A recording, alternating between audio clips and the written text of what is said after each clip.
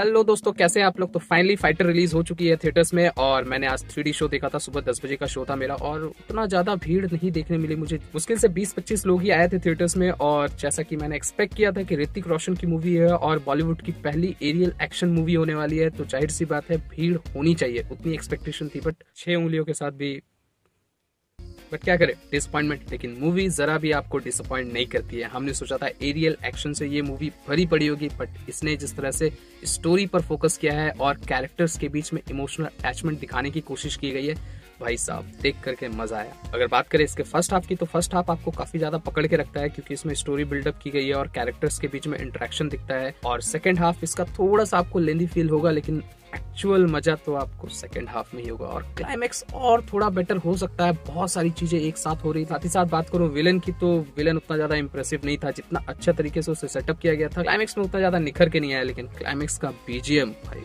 गजब, ज़बरदस्त, तगड़ा था। पूरी मूवी का तो मैं नहीं भूलूँगा बट क्लाइमेक्स का बीजीएम बहुत ही अच्छा। ये तो था एक ओवरव्यू आइए शुरू से शुरू करते हैं। तो फाइटर मूवी बेसिकली एयरफोर्स पे ही बेस्ड है और इसका लोकेशन श्रीनगर ही बताया गया है। ये कहानी है एक स्पेशल एयरफोर्स टीम की जिसमें इंडिया के बेस्ट पायलट्स हैं, जिसमें से सबसे ऊपर है ऋतिक रोशन। क्लास के सबसे ज़्यादा बदमाश बच्चे, लेकिन टॉपर भी वही है। तो कहानी कुछ ऐसे ही आगे बढ़ती है और उन्हें एक स्पेशल पर्पस के लिए तैयार किया जाता है और बीच में कुछ ऐसे इमोशनल इंसिडेंट होते हैं जिससे मूवी को और भी ज़्यादा डेप्थ मिलता है। स्पेशली वो फुलवामा अटैक वाला जो इंस्पिरेशन लिया गया है, वो काफ़ी ज़्यादा वर्क करता है और आपको इमोशनल कनेक्ट भी करता है। मूवी रिपब्लिक डे के टाइम पे आई है तो ज़ाहिर सी बात है देशभक्ति वाला जोश और जुनून तो एकदम कूट कूट के भरा पड़ा एक चीज़ बोलना चाहूँगा की सिद्धार्थ आनंद को अच्छे से पता है की ऋतिक रोशन को मूवी में कैसे दिखाना है। भाई, उनकी जब एंट्री होती है स्टार्ट में मज़ा आ जाता है। मूवी का एक और एक्सपेक्ट मुझे काफ़ी बढ़िया लगा, इसमें हर एक कैरेक्टर की जो भी उस स्पेशल टीम में था, उसकी बैक स्टोरी को दिखाने की कोशिश की गई है। लेकिन भले ही आप सबसे कनेक्ट ना कर पाओ,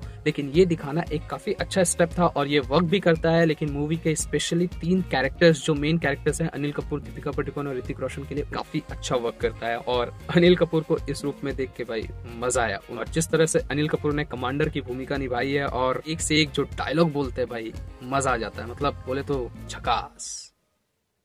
कभी कभी भावनाओं में बहकना भी अच्छा होता है।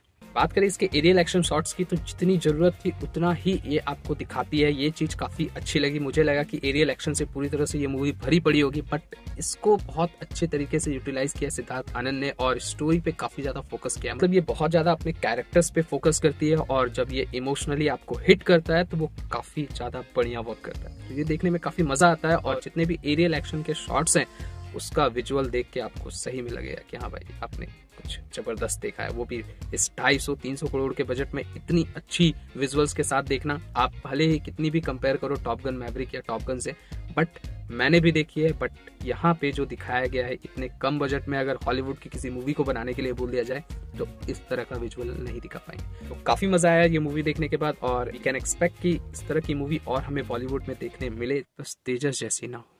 ओवरऑल अगर बात करें तो मूवी काफ़ी बढ़िया है। अगर फैमिली के साथ आपको देखना है तो एक तो किसिंग सीन है इसमें तो अगर आपको चलेगा तो आप देख सकते हो, नहीं तो फिर अवॉइड कर सकते हो फैमिली के साथ। वैसे मूवी देखने लायक है मस्ट वॉच मूवी है। मैं इस मूवी को देना चाहूँगा four out of five specially तो मैं आरवी मिलता हूँ आपसे अगली वीडियो में, तब तक के लिए ख्याल रखिए। अगर चैनल पर नए हैं तो सब्सक्राइब करना।